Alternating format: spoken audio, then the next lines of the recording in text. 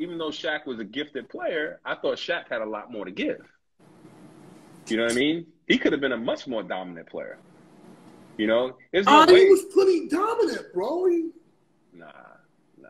Shaq couldn't hit free throws. I mean, Shaq was bigger than everybody. Shaq didn't really have moves. Shaq, Hakeem Olajuwon would cook Shaq all well, day. Well, see, uh, sir, Hakeem Olajuwon is something completely different. Uh, Chamberlain would have gave Shaq the business. I mean, not the, that's the Kemba Mutombo, but Hakeem Olajuwon, they they have Hakeem Olajuwon come in to train big men. Like like he had other he, he what could have made Shaq even greater than he was? Because Shaq is one of the greatest. What could have made him? If you say that, what could have made him greater than he was? I think Kobe said it best. If he was in shape.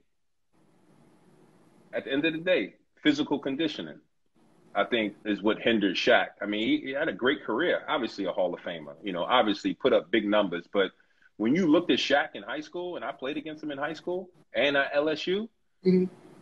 Shaq looked different uh, towards when he played with the Lakers. You know yeah. I mean? So, so imagine Shaq was was was uh, lean.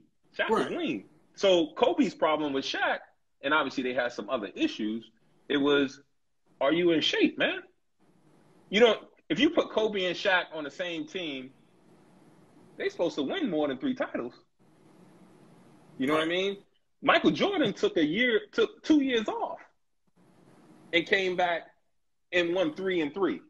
Right, right. You know what right. I mean? So at the level that what I'm talking about is is um, you know, Shaq could have got there regardless, but imagine if he was in shape and the numbers he would have put up. You know, it would have been it would have just been a, a, another. It, it's yeah. amazing now, but it would have just been another level. Another. I mean, you look at a guy like Joel Embiid at Philadelphia. Mm-hmm. He has he's getting in shape, right. but he's probably more skilled than Shaq.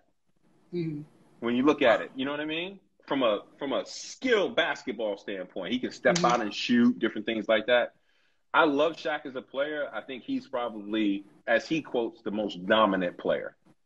He wasn't the most skilled. I listen. He, was he was walking people around like like like they were he was a grown man and they were kids, man. Fat Man Scoop. Go to Fat Man Scoop on Instagram or Instagram TV to see the full interview.